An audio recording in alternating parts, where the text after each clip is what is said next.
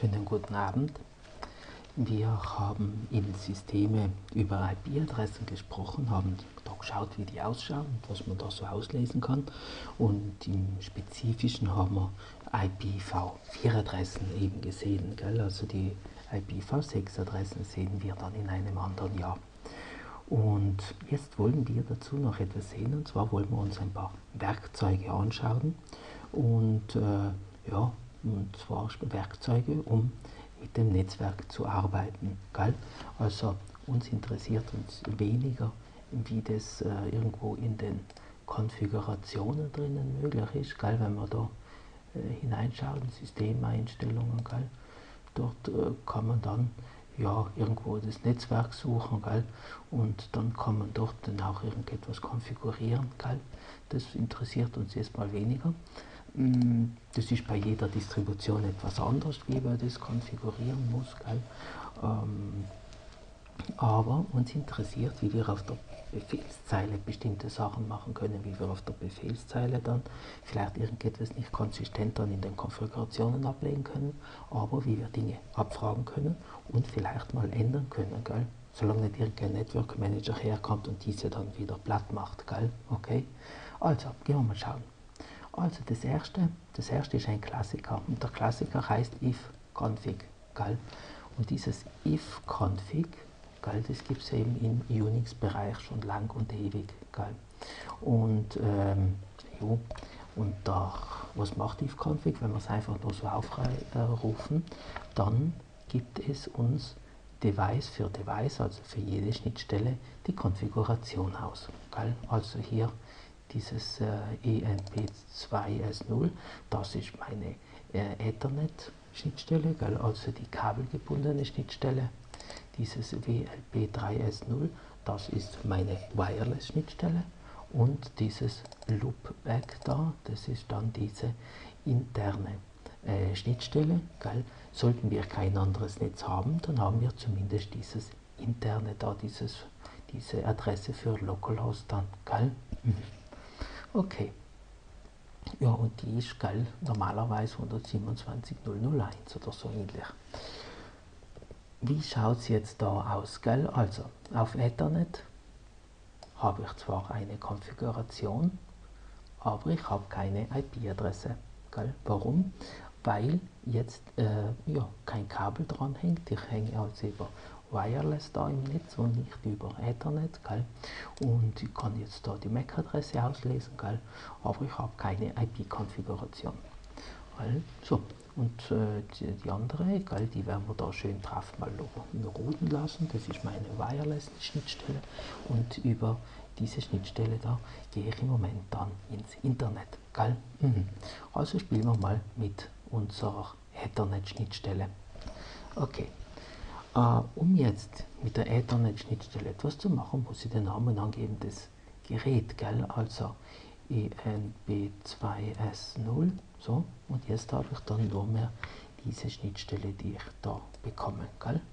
Ja, könnt ihr mal machen, ihr könnt sie mal, ja, könnt ihr sie auch, auch runterfahren, gell? also da down, gell? so, und sage, ich darf das nicht.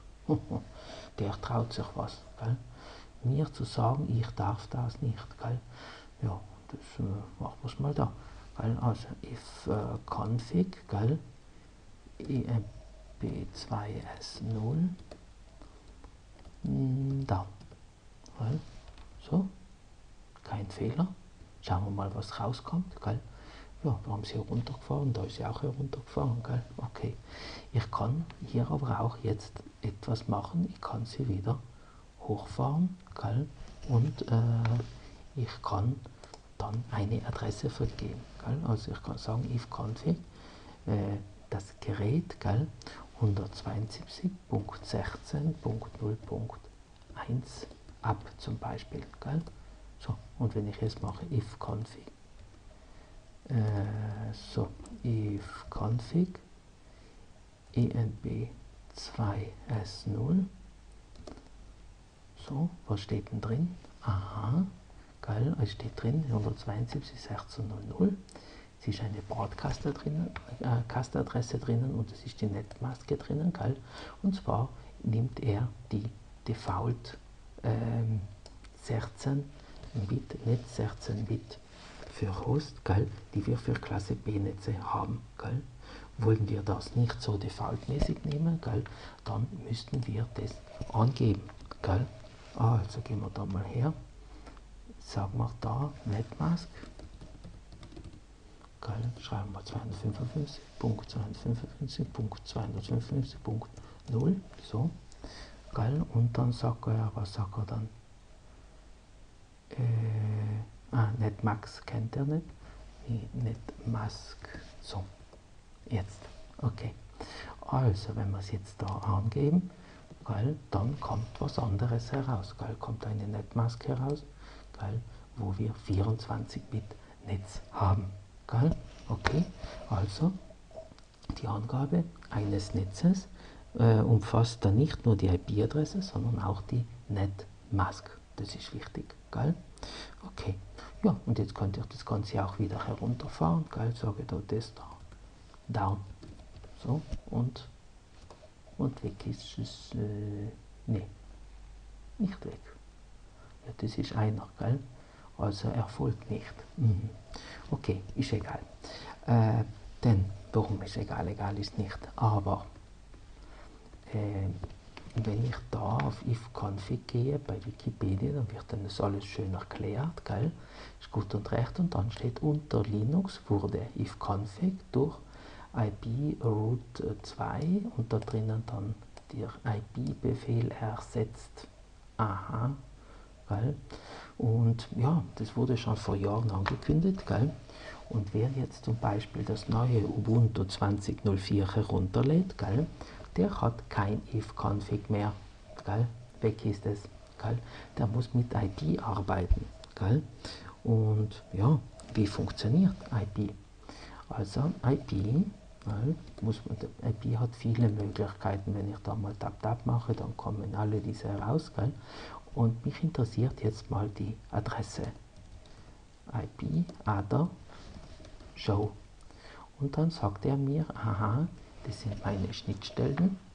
Gell? Also zuerst mal dieses interne Loopback, dann habe ich da meine Ethernet. Gell? Und dann habe ich meine Wireless. Mhm. So, und jetzt will ich was machen. Jetzt will ich eine Adresse äh, jo, setzen. Na, machen wir mal zuerst da dieses Flush. Äh, und zwar was denn vom Device? Und zwar welches? Dieses ENP2S0. So, und damit äh, gehe ich die Adressen an diesem Gerät löschen. Gell? Okay, so, also gehe ich her, nochmal Show und aha, hier hat es funktioniert, gell? Also wir sehen, also IP ist nicht nur jünger, IP ist auch mächtiger, gell, als das if-config, gell? Okay, also haben wir einmal IP, Adress, Show und einmal äh, mit IP-Adress, Flash, Device, Angabe und dann werden die äh, Adressen dort eben gelöscht. So, und jetzt wollen wir eine Adresse hier dazugeben. Gell? Also IP ada at gell? machen wir 172.16.0.1 slash mit dieser CIDR-Schreibweise 16. Mhm. Und dann müssen wir angeben, an welchem Gerät, an welcher Schnittstelle.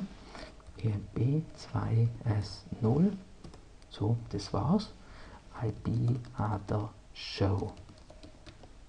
Okay, und wir sehen, die Adresse ist da und zwar mit slash 16, so wie wir das angegeben haben. So, und jetzt machen wir noch was ganz anderes. Wir gehen noch eine Adresse hinzufügen. Geil? 192.168.0.1 slash 24, gell? also ganz eine typische Adresse. Nehmt zu Hause vielleicht eine andere, gell? aber ja, okay. Äh, also nehmt eine andere, wenn ihr in einem solchen Netz da seid. Hätte ich auch vielleicht machen sollen, weil ich bin, nein, ich bin nicht in dem Netz, seht ich bin da in einem anderen, gell?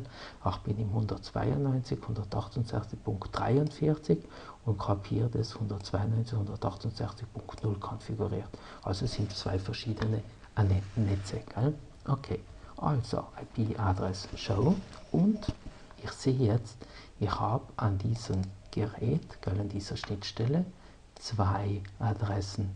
Gell?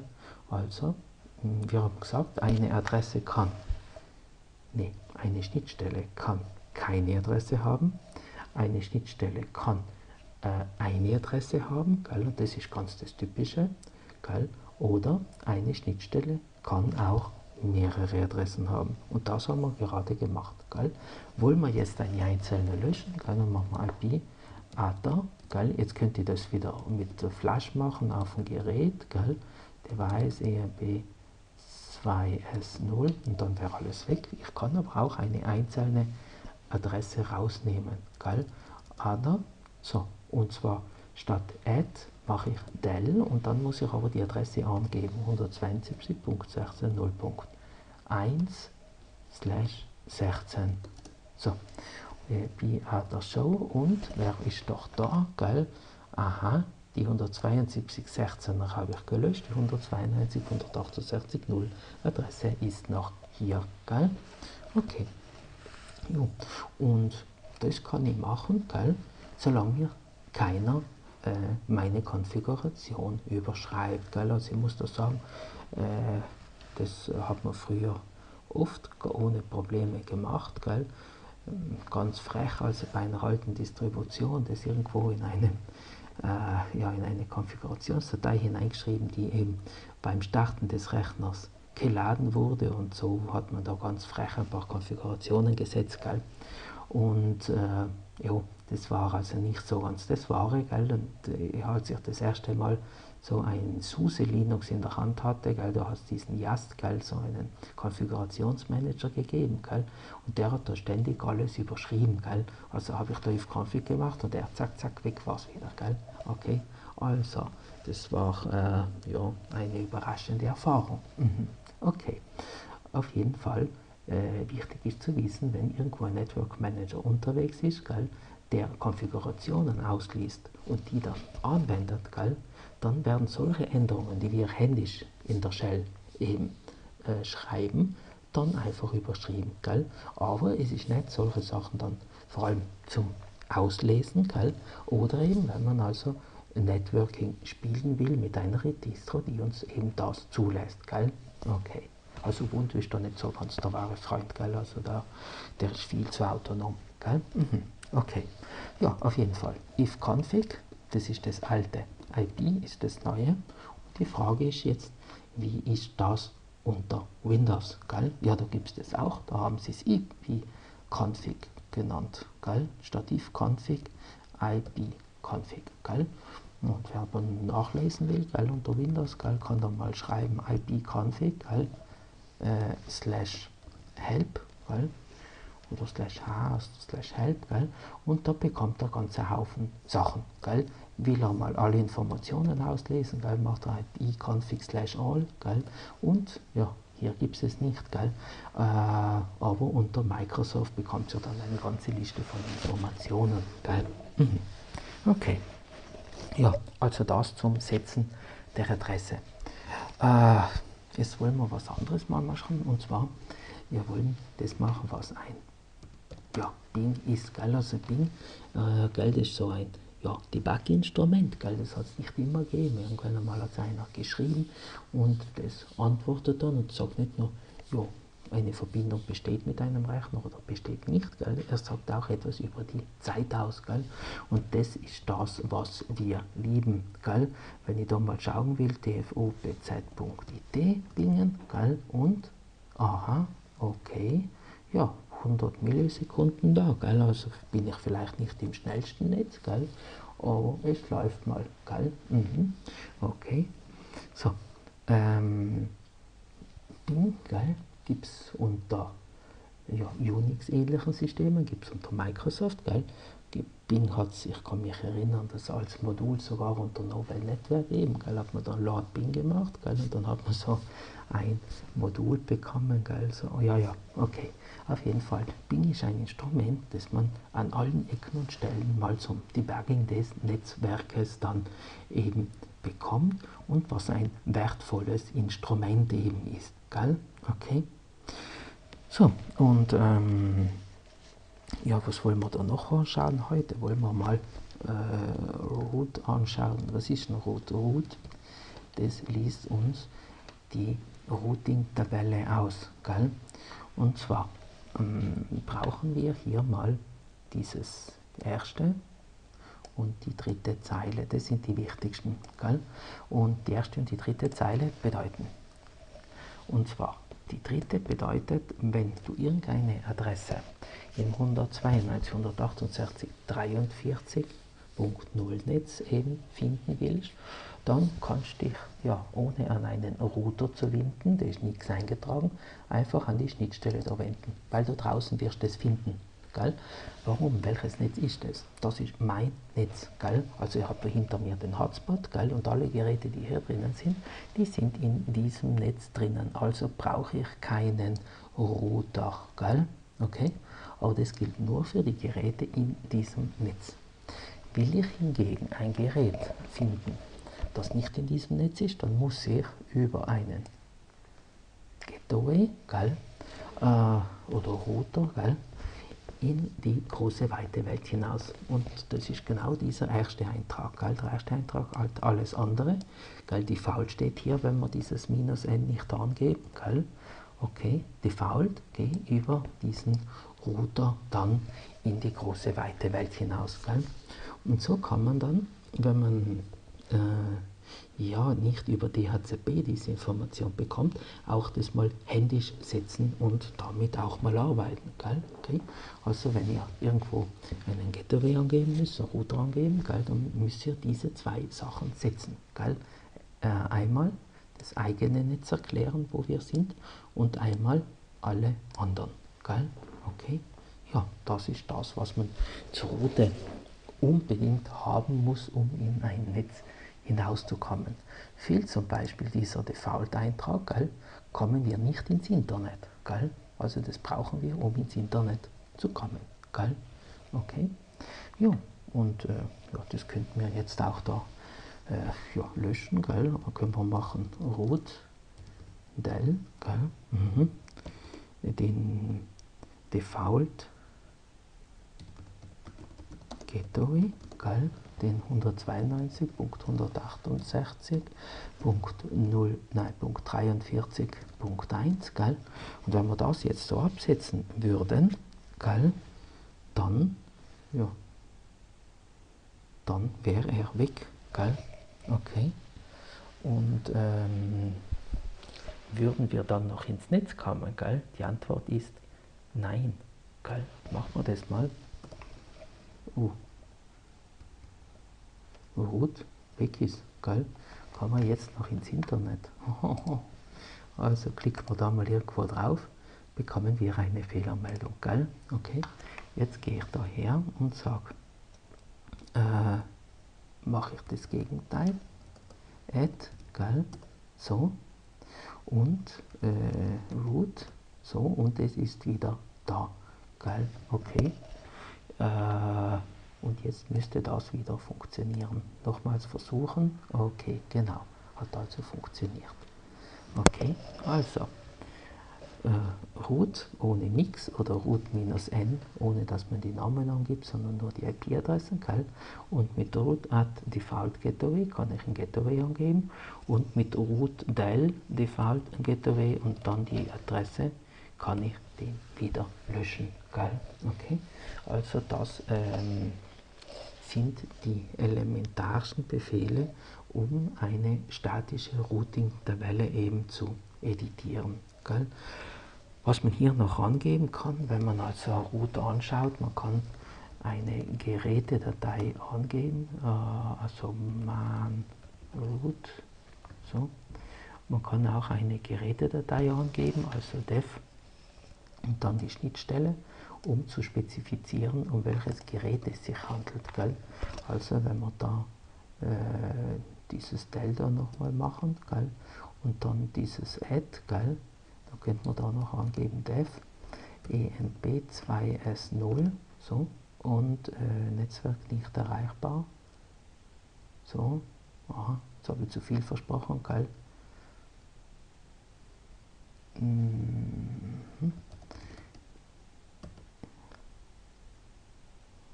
Aha, jetzt ist die überhaupt nicht mehr da, IP-Adder, Show, geil, und äh,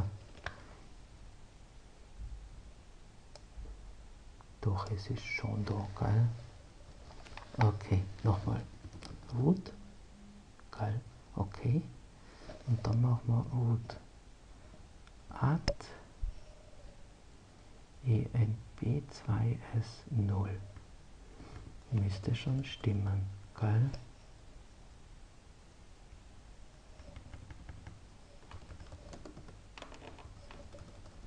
Schreiben wir mal ETH0, geil, auch nicht, kein passendes Gerät gefunden. Okay, auf jeden Fall. Er hat jetzt in diesem Moment liest er Informationen wie ifconfig, wo er dieses Gerät nicht findet. Gell? Und das ist nicht so toll. Gell? Okay, also machen wir es nochmal ohne. Gell? Wir es ihn selber machen und dann schafft er es. Okay, gut. Mhm. Okay, ja, also mit diesem Root können wir den Weg, die Wege abfragen. Gell? Wir können einen Default Gateway angeben. Wir können da aber auch zum Beispiel sagen, wie man in bestimmte Netze kommt. Gell? Wenn wir mehrere Schnittstellen haben, können wir auch sagen, ja, in, da, gell, da, da, da, ja, da, da geht es nach Meran und, und da, da geht es nach Brixen. Gell? Okay, also können wir zwei Schnittstellen angeben mit verschiedenen Richtungen. Gell? Und das sind dann immer noch statische Routing-Einträge, aber die braucht man, gell? Und solche Sachen, das ist dann etwas, was man ja heuer jetzt so sagen, es gibt es, gell? Das ist die Navigation im Netz, gell? Und vor allem in der vierten Klasse gibt es einen Abschnitt, wo man sich sehr, sehr stark mit diesem Routing beschäftigt und solche Routen dann anschaut, gell? Mhm. Okay, ja, so viel zu Root. Ja, ähm, noch etwas anderes und zwar dieses ARP. Das hat nichts mit dem ARPANET von 1969 zu tun. ARP liest Informationen und sammelt Informationen der Beziehung zwischen den IP-Adressen und den dazugehörigen MAC-Adressen. Und wenn wir da so mehr solche Beziehungen haben, dann können wir auch eine größere Tabelle bekommen, wo wir solche IP-Adressen und die dazugehörige MAC-Adresse dann eben haben. Gell? Also ich habe hier ein sehr kleines Netz, ich habe nur äh, ja, meinen Laptop hier und hinter mir den Hotspot, gell? und da findet er nichts anderes als den, das Gerät, das den Hotspot macht. Gell? Wenn wir in der Schule wären, gell? in der Schule könnten wir hier dann auch unsere Nachbargeräte kennenlernen. Gell? Und dann sagt er, ah ja, den kenne ich schon, der hat diese MAC-Adresse.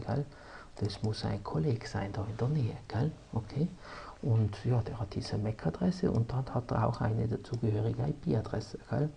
Und dieses ARP, das ist so ein Tool, das die Schnittstelle äh, zwischen Layer 3 und Layer 2 dann auch darstellt. Gell? Und das ist dann eine feine Sache. Gell? Okay? Also man braucht es nicht oft, braucht es nicht oft als Benutzer, gell? aber es ist interessant, wenn wir wissen, dass die Hardware solche Sachen braucht. Gell? Also die Hardware arbeitet nicht nur auf Layer 3, sondern auch auf den unteren Layer. Gell? Okay? Mhm. Ja, das da, ja. Äh, dann schauen wir uns noch was anderes an, das haben wir eigentlich schon gesehen. Das ist dieses NS Lookup oder DIC, gell, die habt ihr ja schon programmiert, gell, äh, in DB, gell, systemnahe Programmierung, gell, NS Lookup, gell, wir können hier einen Namen abfragen, gell, NS äh, Lookup, äh, ja, was fragen wir ab? www.dfopz.it und was kommt denn raus? Es kommt raus, dass also das die IP-Adresse unseres Servers ist. Gell? Schauen wir mal, machen wir die nicht. Gell? Und was kommt denn raus? Das gleiche. Gell? Ja, das ist ein Server, sind nicht mehrere Server draußen. Gell? Mhm. Okay, und wenn wir dick machen, gell? dick dfopz.it, dann bekommen wir wiederum diese Information und wir bekommen noch ein paar andere Informationen zu den DNS-Einträgen. Also das sind DNS-Abfragen. Abfragen, gell, die uns zu den Domain-Names dann dazugehörige IP-Adressen liefern. Gell? Okay, ja, also DIC und NS-Lookup. Gell, das sind da zwei Freunde. NS-Lookup, das ist der ältere Kollege, gell? vielleicht ist er auch verschwunden aus einem jüngeren Ubuntu, das habe ich noch nicht überprüft. Gell? Und Dick auf jeden Fall ist das jüngere von diesen da. Gell? Mhm. Okay. Ja.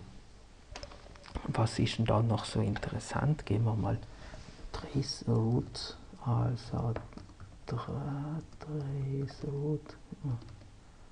Ach so, habe ich nur Traceroute 6. Na, da brauche ich noch etwas.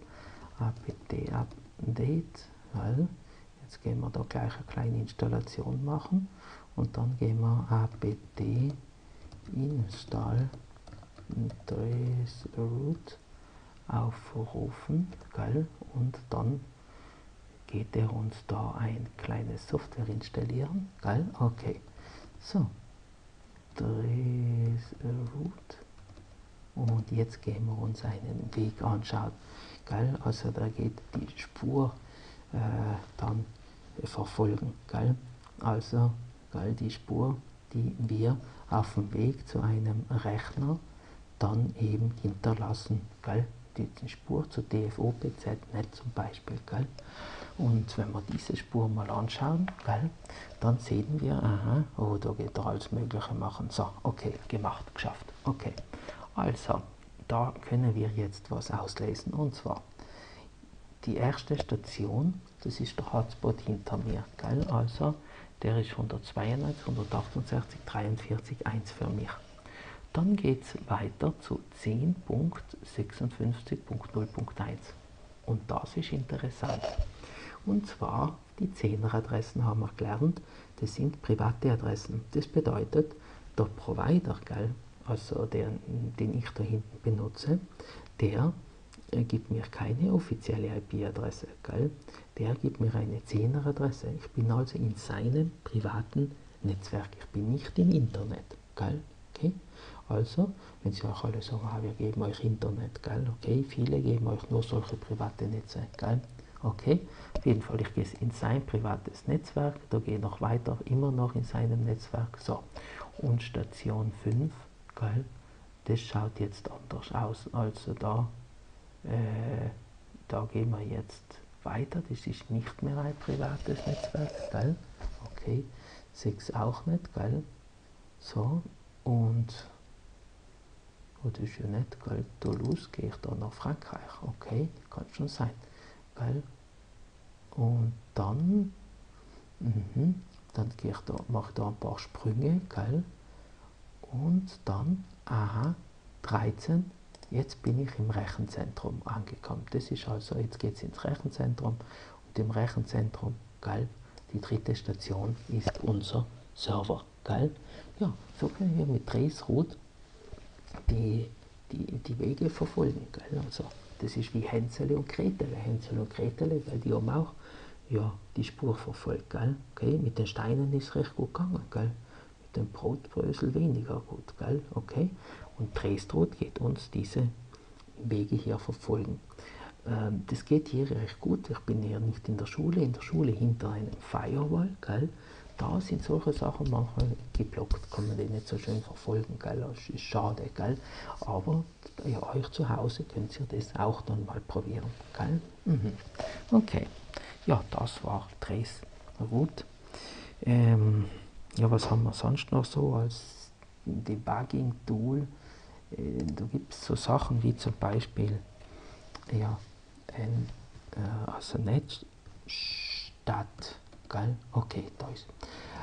Netzstadt liefert uns Informationen übers Netz. Gell? Also Netzstadt, und da sind, ja, da sind eigentlich viele Informationen drinnen. Gell? Da sind Informationen drinnen, die Interprozesskommunikation betreffen, sind Informationen drinnen, die dann eben ähm, den IP-Stapel dann, ja, und jetzt geht es dann immer, geht schon noch weiter, gell? Also ja, da ist da so einiges drinnen. Gell? Mhm, okay. Also NetStat, das ist ein Klassiker unter den äh, ja, Netzwerk-Debug-Tools dann eben. Gell? Okay, zeigt mir Verbindungen an, gell? und und und, gell? Okay, so. Äh, ist ein kleines Monster, aber, gell? Was ich aber liebe, ist ein kleines Nmap, gell? Und ich habe gehört, auch gibt es Schüler, die lieben das auch, gell? Also Nmap, gell? Ist so wie ein kleiner Spürhund, ist ein Sniefer, gell? Mhm, okay. Und ich kann aber da mal sniefen gehen und was ich auf jeden Fall darf, ich darf lokal sniefen, gell? Okay? Und das heißt, ich gehe mal lokal schauen, was hier alles so offen ist. Gell? Und das habe ich hier alles laufen. Das sind die Standardports. Gell? Also Port 22, SSH läuft. Gell? Es läuft ein Webserver, gell? ein lokaler. Und es läuft hier der Druckerserver. Gell? Und es läuft eine MySQL-Datenbank. Das läuft hier auf meinem kleinen Laptop. Gell? Äh, in der Schule hätten wir da schon eine Liste, die wäre ja viel, viel länger, fünfmal so lang vielleicht. Gell? Und das sind die offenen Ports gell, der Dienste, die wir laufen haben. Gell? Und ja, wenn das dann nicht mehr stimmt, dann ist es verdächtig. Gell? Also das muss man aufpassen auf so etwas. Gell? Und ja, das ist, und Nmap, das ist ein Sniffer und da müssen wir aufpassen. Gell?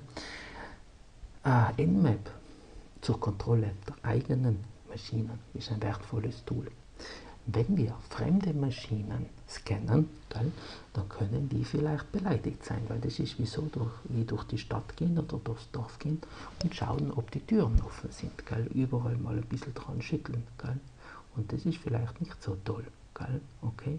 Also, Nmap wäre also ein Instrument, wenn wir es für uns anwenden.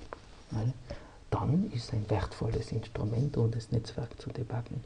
Wenn wir Nmap aber äh, auf fremde Maschinen anwenden, dann kann jemand auch dann beleidigt sein darüber. Gell? Okay? Also da muss man schon ein bisschen aufpassen mit diesem Nmap. Gell? Mhm. Okay, ja. Aber ja, auf jeden Fall. Es gibt noch etwas. Nmap zeigt mir noch Ports an. Es gibt etwas, das heißt TCP-Dump. So, schon hier. TCP-Dump kann ich ein Interface angeben, weil INB2S0 zum Beispiel, gell? und der Device ist noch da, also ich habe sie runtergefahren, gell? okay. Also ich kann dann mit BDAMP den Netzwerkverkehr auf einer Schnittstelle aufzeichnen.